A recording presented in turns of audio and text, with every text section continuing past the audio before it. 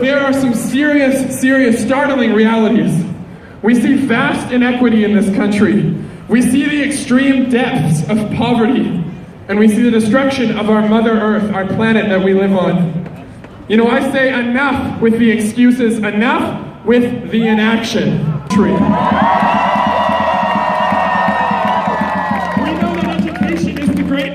Equalizer. Massive tuition fee increases.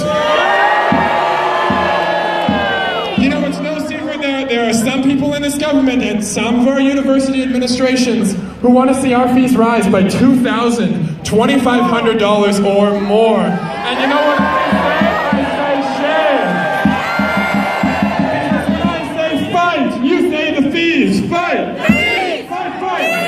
Fight, fight! Fight, fight! Fee increases will only slam door on students.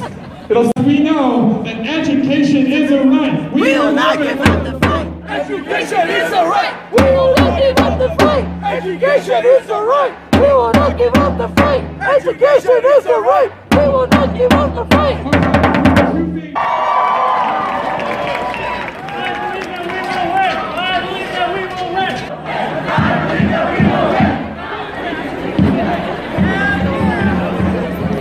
I know the struggles of working three part-time jobs while taking classes.